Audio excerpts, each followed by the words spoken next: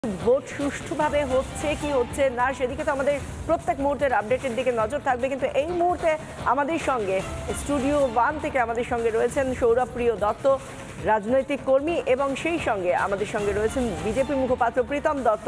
আমরা তাদের সঙ্গে কথা বলব, তাদের সঙ্গে আলোচনা করব। কিন্তু তার আগে এই মুহূর্তে মালদা উত্তরের দিকে নজর রাখব। সেখানে রয়েছেন আমাদের প্রতিনিধি সৃজিতা বসু, এবং তার সঙ্গে রয়েছেন বিজেপি প্রার্থী খগেন মুর্মু। খগেন মুর্মু, যিনি বিজেপি প্রার্থী মালদা উত্তরের, কি বলছেন তিনি সৃজিতা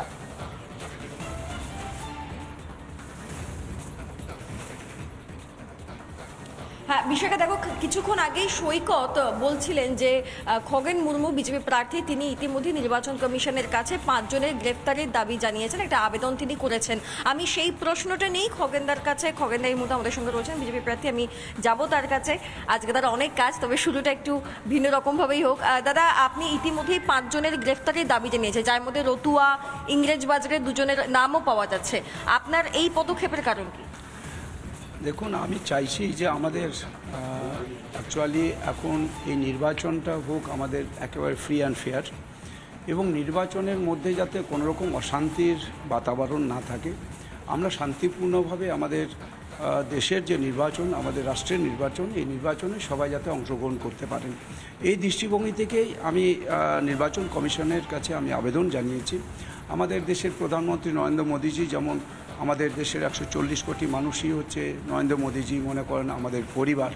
অর্থাৎ ভারতীয় জনতা পার্টি একমাত্র দল, যে দল রাষ্ট্রের কথা বলে, রাষ্ট্রের একশো চল্লিশ কোটি মানুষের কথা ভাবে। তাই আজকে আমরা এই যে রাষ্ট্রের জন্য যে নির্বাচন, এই নির্বাচনে যাতে অবাধ এবং একবার শান্তিপূর্ণভাবে সমস্ত মানুষ তাদের ভোটাধিকার প্রয়োগ করতে পারেন। সেই জন্যই আমি আবেদন করেছি যে যারা এখানে অশান্তি তৈরি করতে পারেন কীরকম ধরনের অশান্তি তৈরি করতে পারেন বলে আপনার আমরা অতীতেও দেখেছি যে কিছু কিছু এলাকা যেগুলো একদম আমাদের ধরুন আমাদের হচ্ছে রতুয়ার বাহারাল বা এরকম কিছু এলাকাগুলো আছে যে এই এলাকাগুলোতে ওরা বুথ দখল করে বা বুথে যারা সাধারণ ভোটার তাদেরকে আসতে বাধা সৃষ্টি করে এবং বুথের মধ্যেও আমরা দেখেছি অনেক জায়গাতে।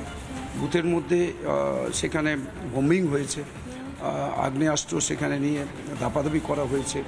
আমরা ভয় ভীতি প্রদর্শন করা হয়েছে। এসে আপনি আশঙ্কা করছেন যে এটা এই ভোটেও আজকের যে ভোটটা রয়েছে সেই ভোটে এরা এই ধরনের কাজ করতে পারে? হ্যাঁ, ইতিমধ্যেই তো সেই হুমকি আমাদের এখানকার যে যে প্রার্থী তৃণমূল কংগ্রেসের তিনি তো আগেই বলেছেন তিনি তো প্রথমেই হুমকি দিতে শুরু করেছেন সমস্ত কেন্দ্রীয় বাহিনী তাদেরকে ঘরে ঢুকিয়ে দেবো বসিয়ে রাখব।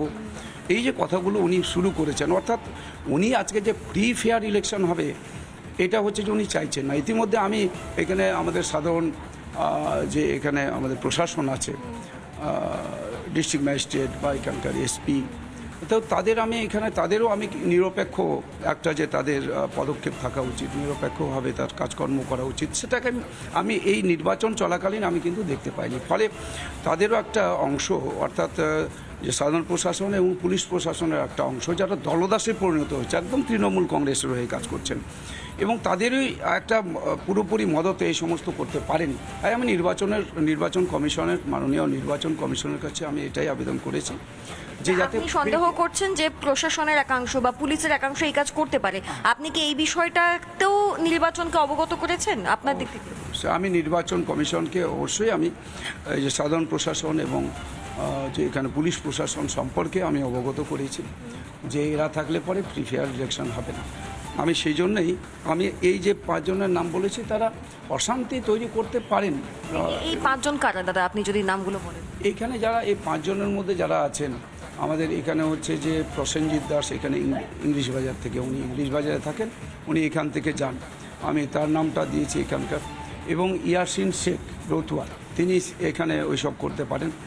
তারপরে হচ্ছে যে আমাদের যে মোহাম্মদ মোহাম্মদ, উনি একসময় প্রধান ছিলেন তৃণমূল কংগ্রেসের। মোহাম্মদ উনি ওখানে একটা করতে পারেন, সেটা ওর তারও নাম দিয়েছি, সামিউল আছেন।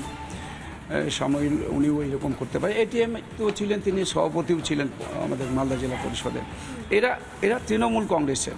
আরও কিছু লোক আছে, আমি সবটার নাম বলিনি।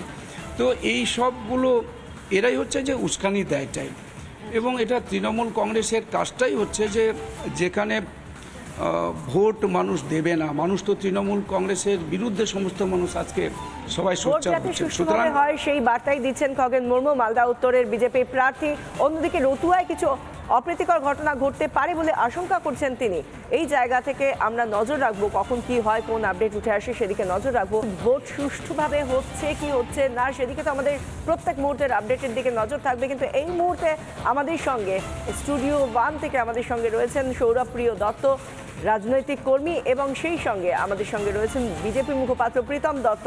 আমরা তাদের সঙ্গে কথা বলব, তাদের সঙ্গে আলোচনা করব। কিন্তু তার আগে এই মুহূর্তে মালদা উত্তরের দিকে নজর রাখব। সেখানে রয়েছেন আমাদের প্রতিনিধি সুচিতা বসু এবং তার সঙ্গে রয়েছেন বিজেপি প্রার্থী খগেন মুর্মু। খগেন মুর্মু, যিনি বিজেপি প্রার্থী মালদা উত্তরের। কি বলছেন তিনি স্পৃজিতা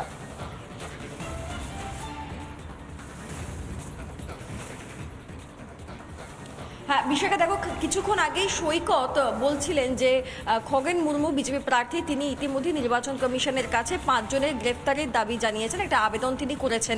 আমি সেই প্রশ্নটা নেই খগেনদার কাছে খগেনদার এই মুহূর্তে আমাদের সঙ্গে রয়েছেন, বিজেপি প্রার্থী, আমি যাব তার কাছে।